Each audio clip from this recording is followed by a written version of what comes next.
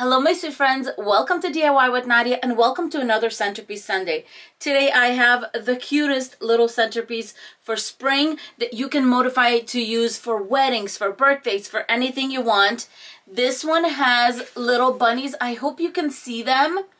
They're little green moss bunnies and they're absolutely adorable. This is made with the Dollar Tree 3D wreath and actually all of this is Dollar Tree, including the little base that I have here. So if you want to make an affordable, gorgeous centerpiece, this can be used for weddings. You can put numbers on here for table numbers or for birthday parties, for whatever occasion, just modify what you put in there. But um, the way I did the actual rings, that's kind of new.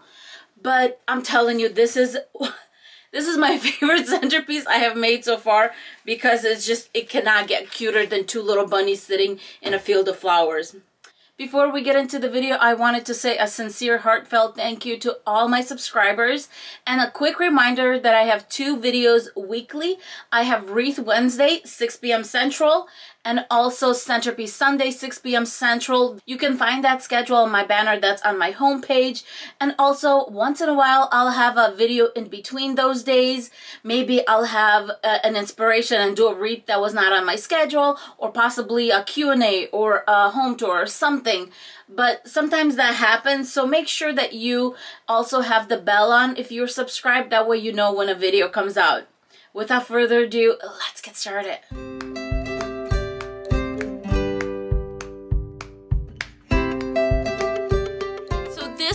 This 10 inch 3D wreath form and it comes with these two spirals right here and that's to put it together but we're not going to use this until a little later. First thing I'm going to do is take my wreath apart and it comes apart fairly easy and then I'm going to grab this raffia. This is from the Dollar Tree and this is 87 yards of it and I've already used it on at least two projects and I still have a bunch of it left over. So what I want to do with this is I'm going to wrap my rings in this raffia.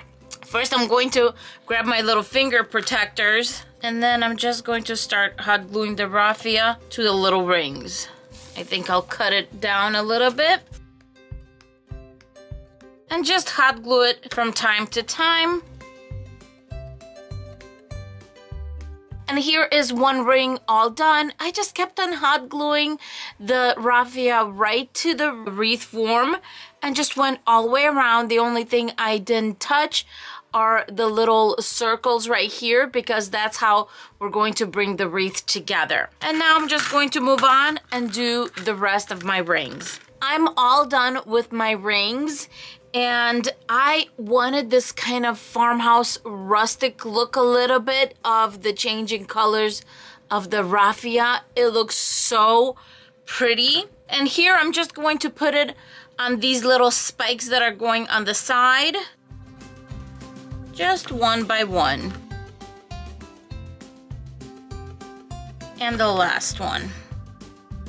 And of course, this is an additional step. You don't have to do it, but I absolutely love how it turned out. I love the changing colors of the raffia when it was painted. It looks so pretty to me. Now I'm going to get these wheel looking things. Grab one, open up my beautiful 3D wreath here.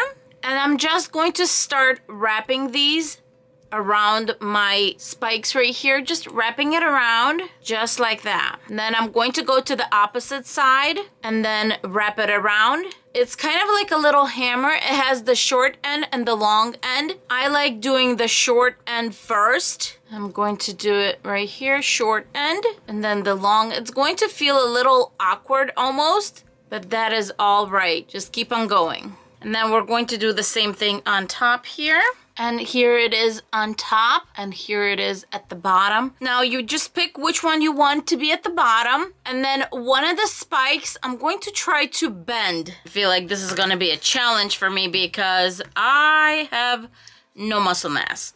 so we'll see how hard this is to bend. It's not that bad. Make sure you're not pulling it because you don't want to crack this.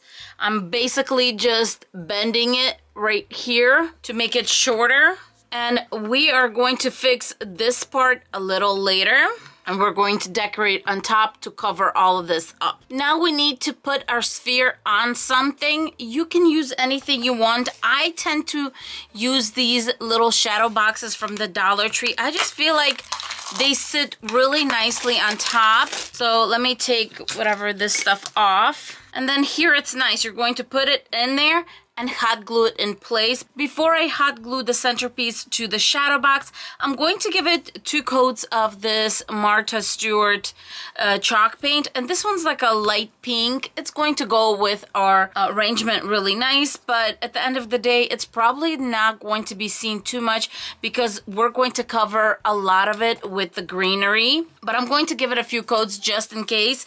And you do really want to do the sides because if you're going to have your center piece somewhere high, this will definitely peek through. So I'm going to give it a few coats of paint and I'll be right back.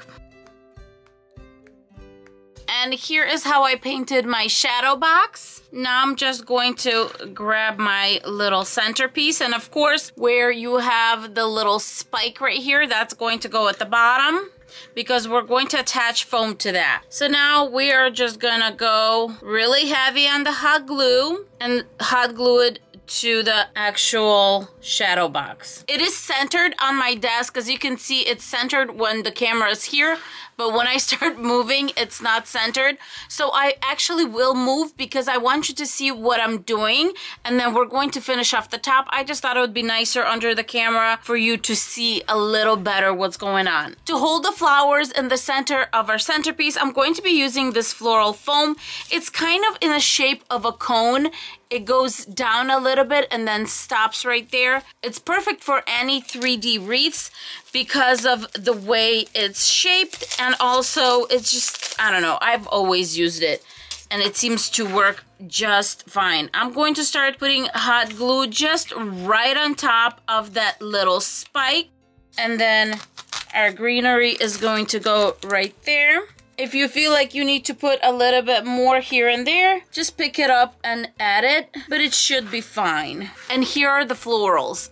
I'm going to use some of these ranunculus and by the way tulips used to be my favorite flower and now it's ranunculus especially the real ones oh my goodness they are just so elegant and beautiful. But anyway, these are from the Dollar Tree and they're not so bad. So we're going to use those. I absolutely love using hydrangeas as fillers when you're making something big because they really do fill in the space. I'm going to be cutting these down fairly short, meaning about three inches, four maybe at the most, just because this is the smaller of the 3D wreaths.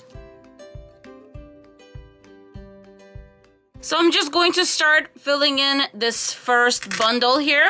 I have a lot of these peonies, so I'm just going to start making a circle on top, right around the center. And here is how it looks so far from the side. Then our next bundle here. And also make sure to keep the greenery because the greenery is going to cover the foam really nicely. The next bushel of hydrangeas are going on the side. So basically in between each of the sections, I'm going to put in some florals on the sides here.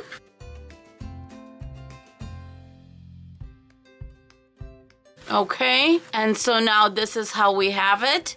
See, it's pretty much filled in where you can hardly see the foam. We can always fill it in, but as you can see, it's starting to look really full. As you can see, we pretty much have our shape. And don't forget, we're still going to put stuff on top, so you don't want your uh, flowers to be too high up. Now with the ranunculus, I'm going to go into every other section and put in a ranunculus.